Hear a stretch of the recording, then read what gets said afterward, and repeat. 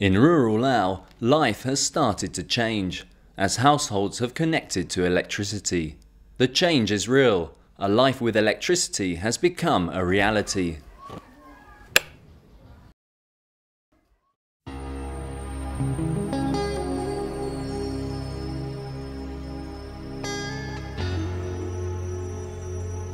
In Nongboon village, southern Lao, the villagers run a unique handicraft production business.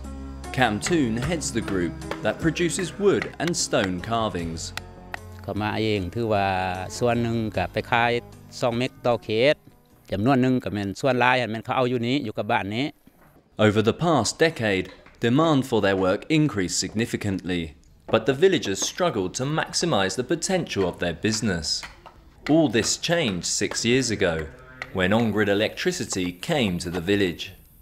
เริ่มแต่ว่าไฟฟ้าเข้ามานี่แล้วก็ได้เครื่องมือนี่แน่กการจำหน่ายในตลาดนี่ก็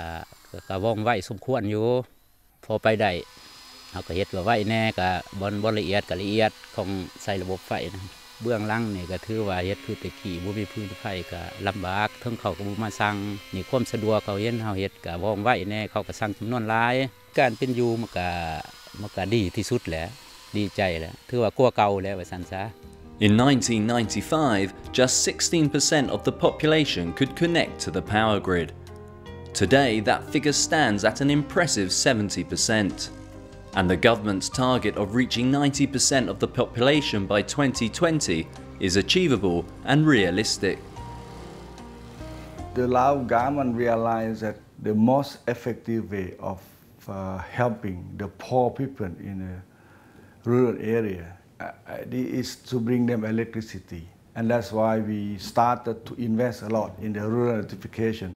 Financial support from donors, together with strengthened capacity and the commitment of implementing agencies, have been the main reasons for rapid expansion and increased access. Electricité du Lao as a national utility. They have built their capacities for from bottom-up rural electrification planning and project procurement, management and implementation. The combined on-grid and off-grid approach ensures greater access, and tariff reforms and subsidies help to keep the cost down. To support people who can't afford the installation costs of about $100, the Power to the Poor scheme provides an interest-free loan, helping people to pay back the costs over a number of years. Pan is one of those who benefits.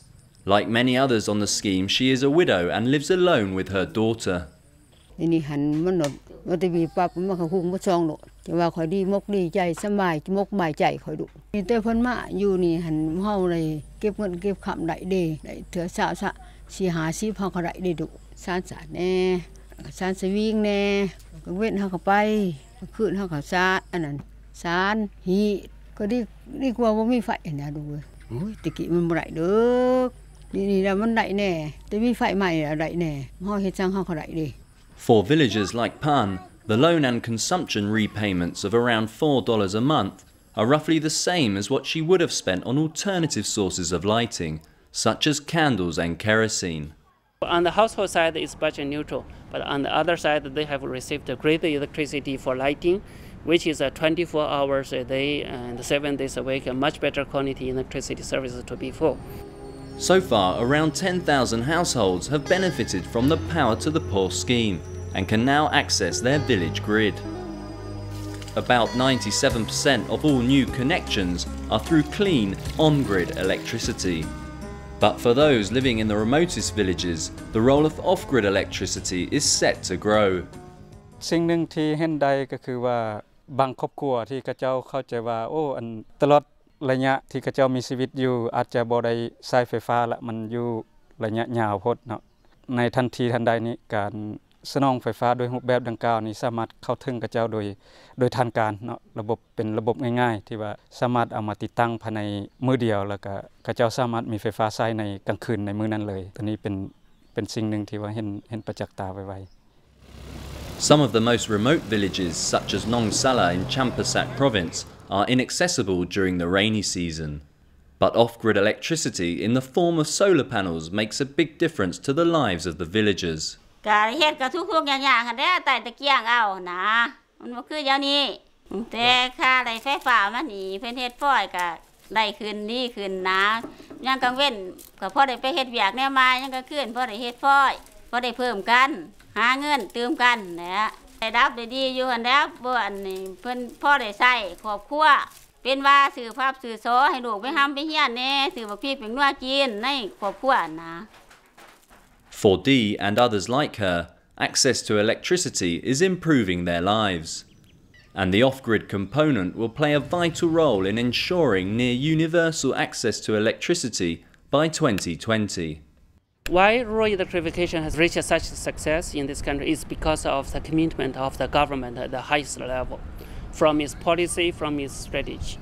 ข้าพเจ้าคิดว่าจะต้องได้สืบต่อมีการพัฒนาขึ้นตื่มโดยเฉพาะและแม่นประชาชนที่อยู่เขตห่างใกล้โศกลีกเขาเจ้าให้ได้มีการสมใช้ได้เห็นให้ชีวิตการเป็นอยู่ของเขาเจ้าให้ลุดพ้นออกจากความด้อยพัฒนาและก็ลุดพ้นออกจากความทุกข์ยาก Electrification will play a major role in Laos' vision to exit least developed country status by 2020. Work to achieve sustainable connectivity for 90% of the population is well underway. In real terms, the lives of hundreds of thousands of poor people have improved. Electrification will be a driving force as Laos strives to become a middle income country.